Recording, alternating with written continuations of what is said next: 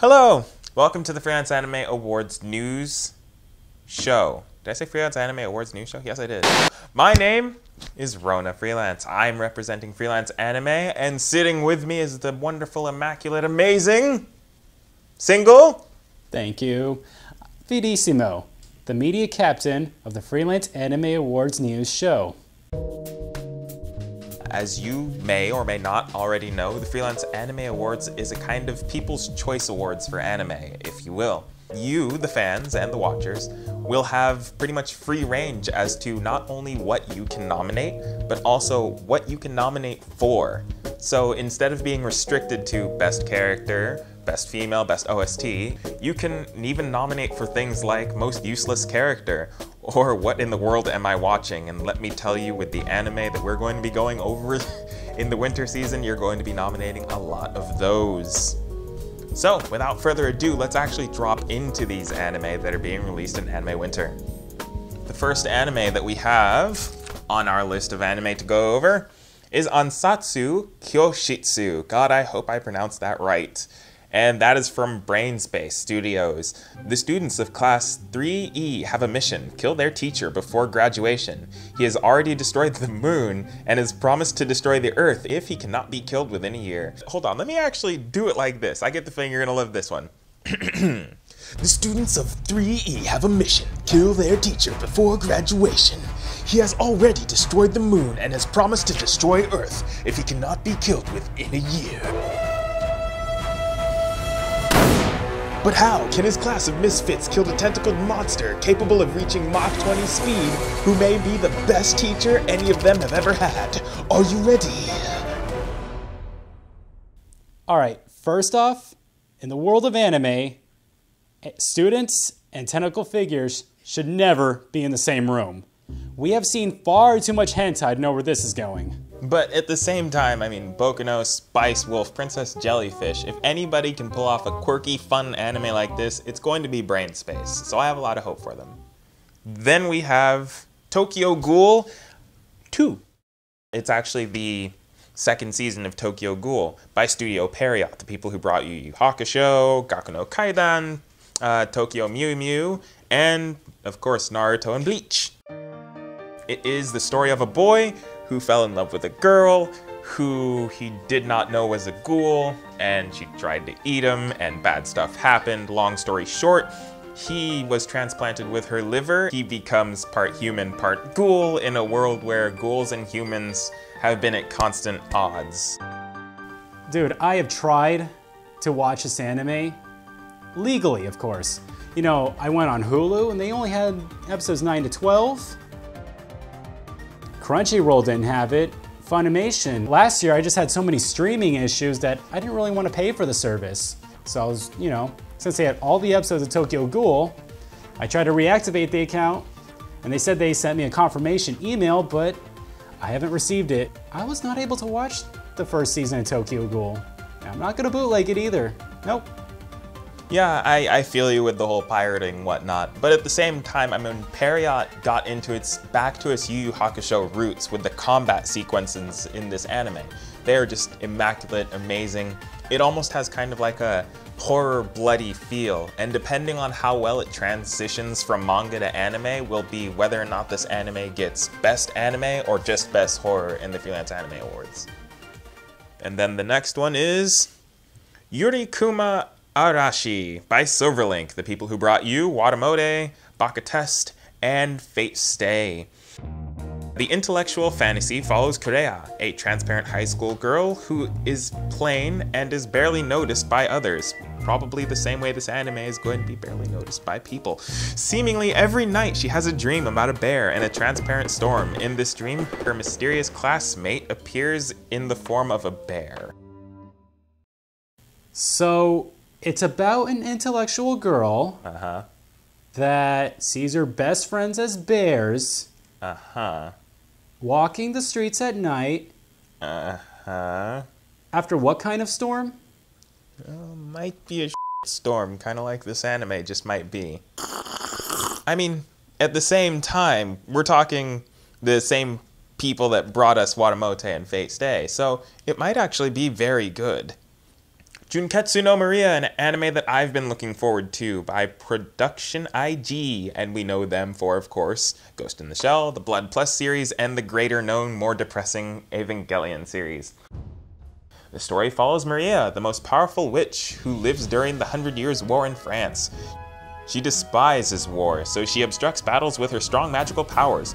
Her meddling with her succubus and incubus have caught the attention of the heavens, and so the Archangel Michael issues an edict. When Maria loses her virginity, she will also lose her magical powers. A beautiful angel named Ezekiel is supposed to watch Maria and make sure the witch does not use magic in front of people, but Maria continues to use magic anyways. Okay, look, I understand that she's a very noble, noble person. You know, I respect that. I just really have to question her God as to why, if she has sex, she loses her powers. I don't know what that morally means, and that is clearly very unfair. Yeah, and considering it's Archangel Michael and Ezekiel, I believe it's the Christian God. So, this anime has been actually attracting a lot of attention on the internet and the Fujoshi fan base, and that is because it is an anime adaptation of a popular dating sim, and that is Binankoku Chikyu Bue Bu Love, the most tongue twisting anime I've ever read. And it's from Diomedea, the people who brought you Kante Kole, which is also coming out this season, and Kanan along with Riddle Story of Devil.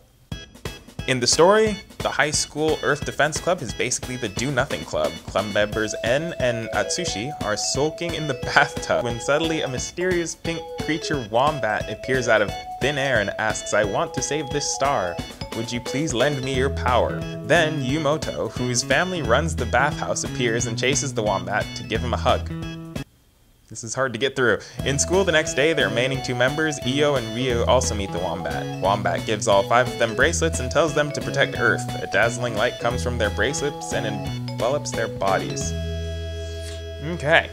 Despite the fact that bathtubs and magical boys and all this other stuff, for them to move into something that's like Magical Girl only with boys is something that I'm not quite sure how to feel about yet. I mean, despite the fact that the magical girl anime trope slash franchise has been getting darker and darker and darker, I'm actually interested to see what they have in store for a magical boy anime. We have Parasyte from Studio Madhouse. And Studio Madhouse needs no introduction because they brought us Hellsing. They arrive in silence and darkness. They descend from the skies. They have a hunger for human flesh.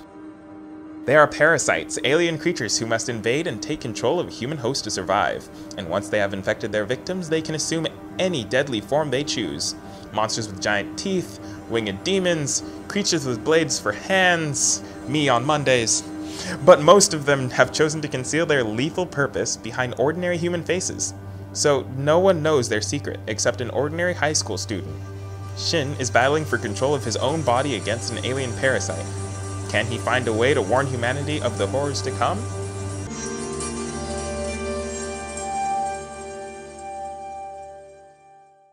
High school. Fighting. Anime. Yeah. I mean, despite the fact that it is another high school fighting anime, it's Hellsing, and I watched the first 12 episodes of this, and it blew me away. It did a very good job. It is best anime, best horror, best soundtrack, best art, contender, best character development, material, all across the board. Mm-hmm. Uh, from what you, the plot described, there were many types of monsters. Yes. You know, I expect those monsters to be brilliantly animated and gruesome, so that's exciting. It's Hellsing, it's Madhouse, it's evil. Toei Animation coming in strong, uh, also with their fall left over, is World Trigger.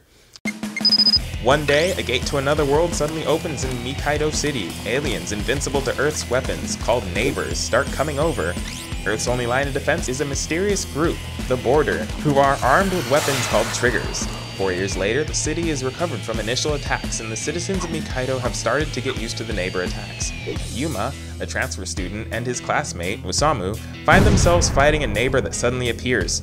Osamu, who is actually a border agent, activates his trigger but is unable to defeat it. This leaves Yuma to activate his own trigger and defeat the alien. Yuma reveals that he is not part of Border and is actually a neighbor who has transferred from the other side. Wow, that was really cliche. I don't know what to say first. Remember Toei Animation, they did Dragon Ball, Screaming for Power, Pokemon, Yu-Gi-Oh! High School Fighting, Sailor Moon. So, Friendship is Magic, they are the birthers of the anime cliche, and they do it well. Wait a minute. In Sailor Moon, those high school students fight. Are they mm. responsible for high school fighting anime? Yes, it is high school fighting. But um, a fall left over, so that means that I did watch the first 12 episodes, well, what was available to me, and it was good. It did something that only Toei is able to do, and that is take an anime cliche and keep making it fresh and surprise you every time. And Sunrise comes in with another fall leftover, Cross Ange. Due to humanity obtaining the data technology that has evolved to a great amount called mana, the human race is able to subjugate all wars by using its power. First princess of Mitsurugi Empire, Angelise, she was supposed to wear the crown. However, she realizes the shocking truth that she is a Norma, an irregular existence that cannot use mana and are treated as heretics. Having everything stolen from her, she isolates herself on a remote island.